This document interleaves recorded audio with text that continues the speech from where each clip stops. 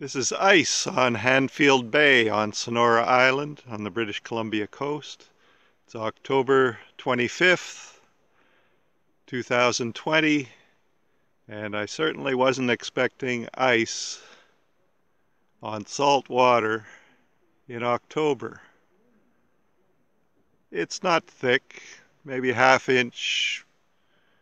You can plow through it, although my wife tried kayaking and and it was uh, it was a challenge. The, the, challenge was getting the paddle down into the water through the ice, but uh, nevertheless, uh, interesting concept. It's just as the sun's come up, it's it's uh, it's starting to break up a little bit. But uh, this is the little island that protects Handfield Bay, Tully Island.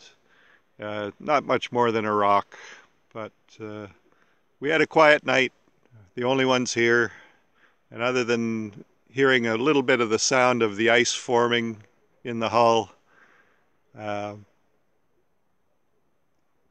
it was cool but cozy. Hey, this is the Icebreaker Kittywake.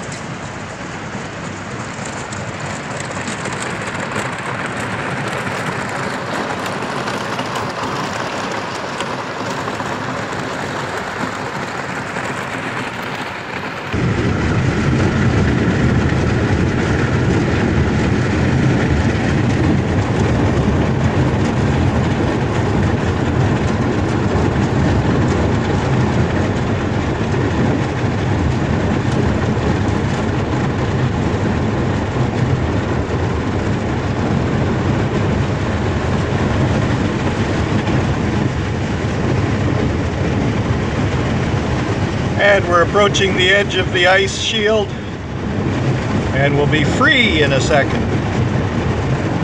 Anyway, this was a new experience for Kittywake and its crew. hard to believe that in October, two months from Christmas, on the south coast of Vancouver Island, British Columbia, we have ice. And here we go, we're into water.